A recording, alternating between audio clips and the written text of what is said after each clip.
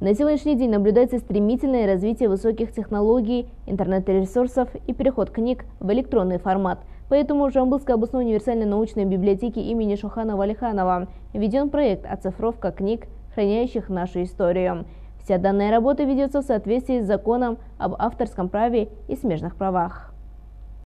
Электронные библиотеки сегодня стали важнейшей составляющей интеллектуального пространства в интернете. Внедрение цифровых технологий в работу библиотечных фондов создает новую модель коммуникативного взаимодействия между библиотекой и читателем. Мы имеем право э, оцифровывать без разрешения автора или его наследников только книги 70-летней давности издания, не менее, не моложе. То есть а вот э, что ведется с местными авторами, это вот на основе именно составления взаимного договора, они нам дают свое разрешение, или его наследники того или иного автора дают нам разрешение, мы вот на этом основании оцифровываем его труды.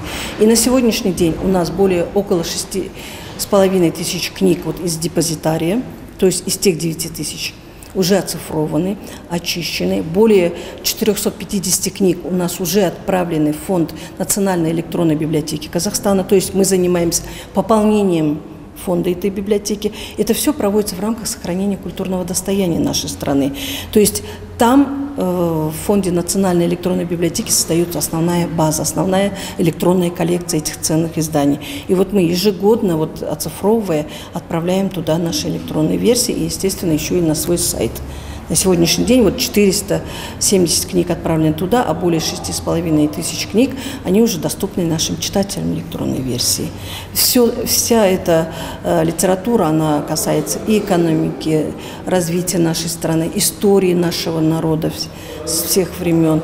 И поэтому она очень необходима. И эти издания, они на сегодняшний день уже не переиздаются.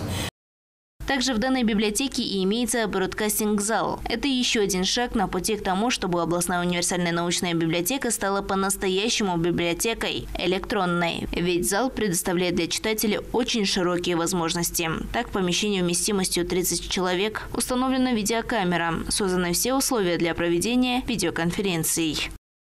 Дана Самат, Ислам Хамшибек, Мухтар Алишев, 77 News.